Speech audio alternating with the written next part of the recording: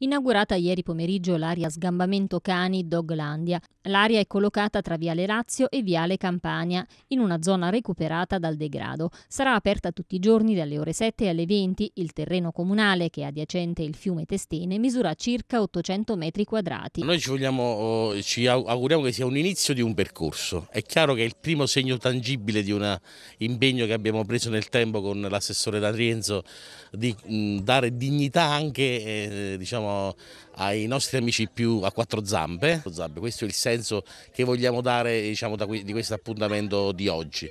Abbiamo um, um, utilizzato quest'area che era veramente poco utilizzata, tra l'altro eh, c'è stata anche una logica dire, di riutilizzo e risanamento dell'area stessa che era un po' abbandonata, invece in questo modo diventa utile, quindi per questo motivo viene, verrà sempre pulita, verrà sempre, eh, e però diventa utile per chi vorrà eh, venire a portare... Um, a divertirsi eh, i cani che possono essere anche di diversa taglia. Poi abbiamo anche qui un'area destinata ai, alle cucciolate che troviamo e che temporaneamente possono essere mantenute in attesa in collaborazione dell'associazione di poterle, eh, di poterle fare adottare. Insomma, quindi è un inizio, ripeto, di questo eh, percorso che ci, ci auguriamo sia vir virtuoso per il futuro. L'abbiamo predisposta in un punto facilmente raggiungibile della nostra città, potrà essere utilizzata da tutti coloro che possiedono un cane nel rispetto del regolamento. Siamo orgogliosi, la nostra amministrazione eh, finalmente ha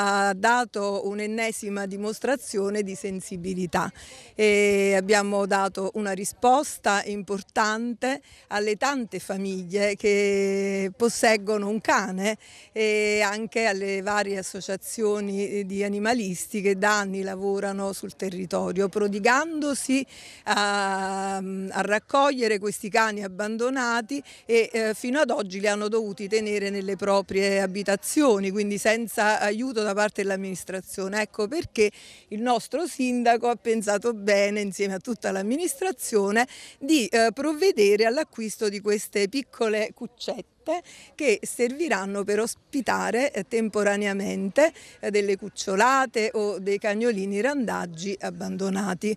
Quest'area che è divisa in due spazi, quindi una per i cani di piccola taglia e l'altro spazio per i cani di grande taglia con dei giochi, quindi oltre ad essere un'area giochi per i nostri cani, anche un'importante area di socializzazione per la nostra città, specialmente dopo questo Covid che ci ha reclusi e ci ha tolto la gioia di vivere insieme.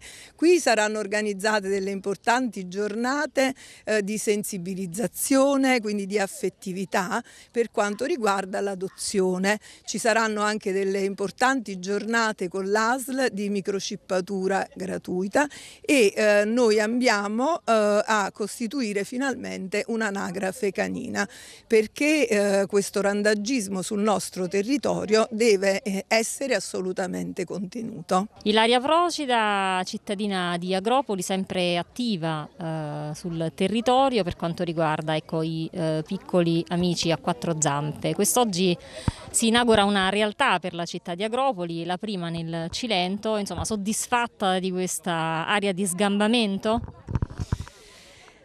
Allora, sicuramente è una bella idea che avremmo voluto insomma da tanto.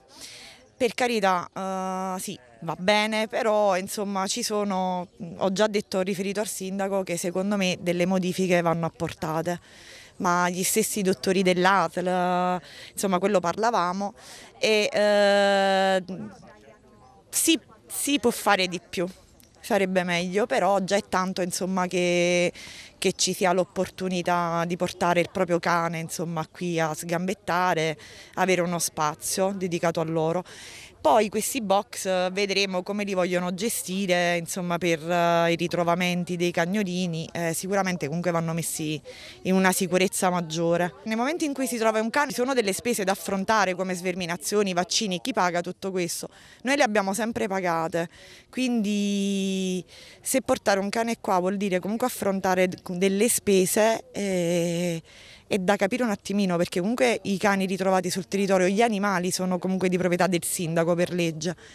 Quindi queste cose comunque vanno, vanno ancora appurate su come vogliono gestire questi quattro stalli.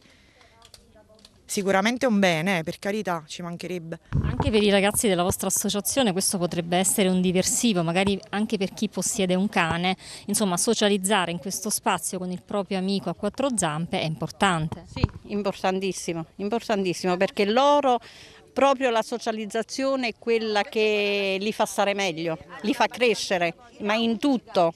Io personalmente ho preso un cagnolino proprio per mio figlio per, uh, per farlo stare meglio, insomma.